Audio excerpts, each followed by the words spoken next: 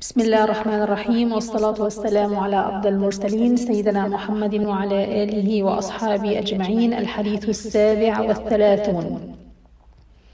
عن ابن عباس رضي الله عنهما عن رسول الله صلى الله عليه وسلم فيما يرويه عن ربه تبارك وتعالى قال إن الله كتب الحسنات والسيئات ثم بين ذلك.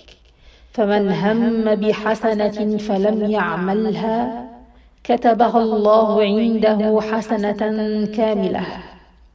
وإن هم بها فعملها كتبها الله عنده عشر حسنات إلى سبعمائة ضعف إلى أضعاف كثيرة.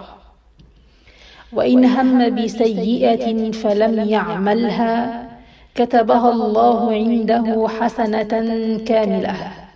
وإن هم بها فعملها كتبها الله سيئة واحدة.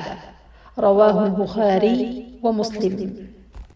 Listen from Hadith number 37.